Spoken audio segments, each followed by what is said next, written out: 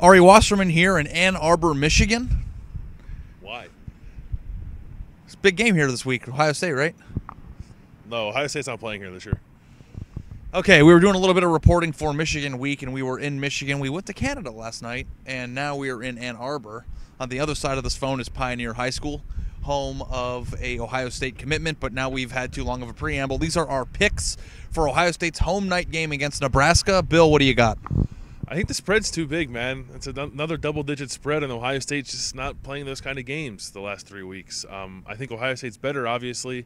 Um, I think Nebraska in a weird way, kind of um, kind of showed it's a, showed it's a better team by playing a tough game at Wisconsin last week, even though they lost.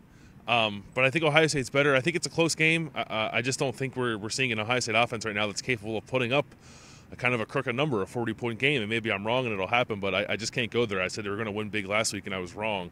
So uh, until they show it, I'm going to stop picking big. I am going to pick Ohio State to win uh, 30 to 23.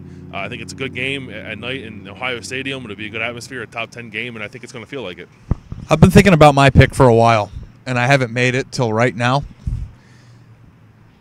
I think I'm going to stun the world. I'm going to pick Nebraska to win this week. Um, Ohio State um, has not got it done in the passing game the last few weeks. Um, ever since that 93 yard performance against Indiana, and I think if Nebraska is a few steps better than Northwestern.